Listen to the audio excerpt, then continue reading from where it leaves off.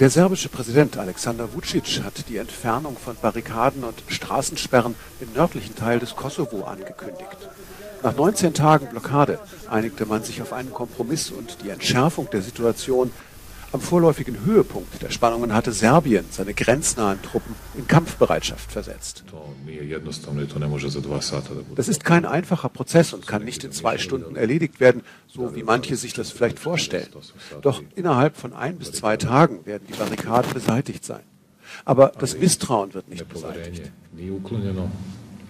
Die, die mit der Existenz der Serben im Kosovo spielen, müssen wissen, dass wir das nicht zulassen.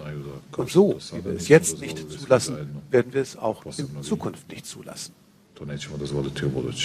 Das Verbot serbischer Nummernschilder durch die kosovarische Regierung hatte zu den jüngsten Spannungen geführt.